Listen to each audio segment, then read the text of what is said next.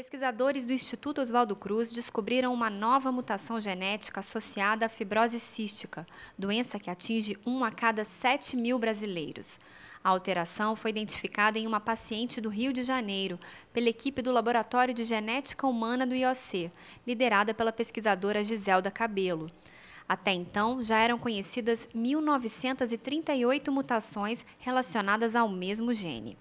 A amostra chegou em 2008 né, e nós fizemos análise de, das 22 mutações que são analisadas, que nós já encontramos aqui na população do Rio de Janeiro. Né, como nós não encontramos nenhuma dessas mutações, nós passamos a utilizar técnicas sensíveis para identificar novas mutações. E aí nós encontramos numa dessas técnicas uma alteração, né?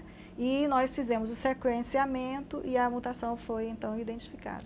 Ela é importante para a nossa população, porque como é uma mutação que foi encontrada em um paciente é, brasileiro, né, de origem é, africana, é provável que ele tenha o, os ancestrais dele trouxeram essa mutação para o Brasil e ela foi identificada aqui em um, um, paciente brasileiro. E a gente precisa conhecer as mutações que circulam no, no, no, no nosso país para poder fazer o diagnóstico com precisão. O gene CFTR está presente no cromossomo 7.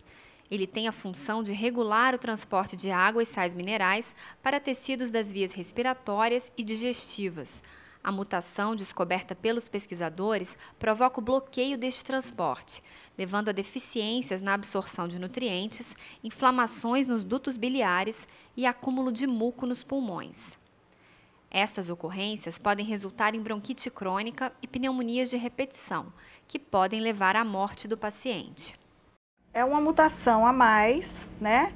Onde a gente vai poder é, ter uma taxa de, de, de de detecção muito melhor, porque nós, nós agregando mutações que são encontradas próprias aqui na, na população, porque a gente já fez um rastreamento e é, cada vez vai se encontrando é, menos mutações conhecidas, né?